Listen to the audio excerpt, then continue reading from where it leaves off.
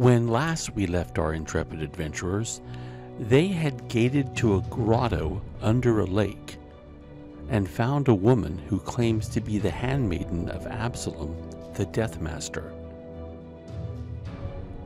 They're resting. Estrella lays across from Scala. In a whisper, she says that she knows Alima's secret. There's a sound, they both look up, and they see Alima towering over them. Estrella defiantly stands up and says in a voice loud enough for the others to hear that Alima is actually a clone of her mistress Estelle Argentium. She says that her mistress mentioned that to her years ago, that she had once made a clone, but it had escaped and had never been heard about again. Scala agrees that there is a resemblance to the woman she met the other day. Alima says that actually the clone never went anywhere. It was the original who was exiled to be out in the world. Her. Scala mentions that there's a way to tell if Alima is the real Estelle. She carves the rune of truth, EZL, on a coin and then offers it to Alima.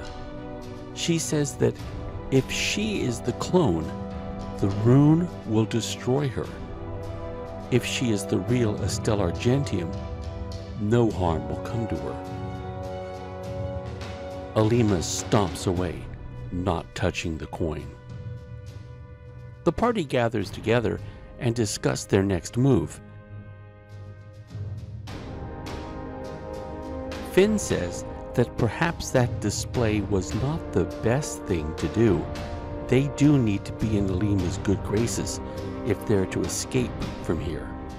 He offers to go and talk to her and see if he can win her over. The rest of the party wish him luck as they watch from a distance to make sure he's okay.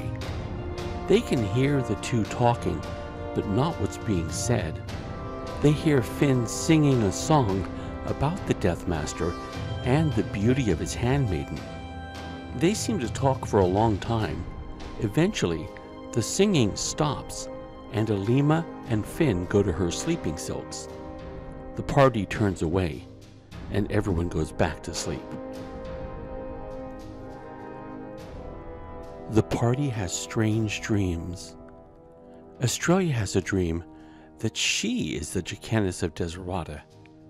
In the dream, she has given up the title of sorcerer and married Emerald Jun. It's several years in the future, and only their castle in Desirata remains fighting against the dark force. She is forced to flee as the Darklings storm the castle. Finn dreams that he's invited to a large party to perform. When he arrives, it turns out that the party wants to cut the flesh off of him while he sings.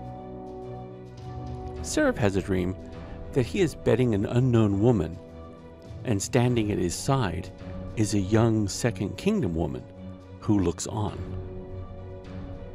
Scala dreams of being trapped in a cave. There are voices that taunt her and call her vile and untrue things. She catches a glimpse of one of them. It's a large black spider like thing with a human face. As she runs away from the things, she notices that she has become a creature like they are.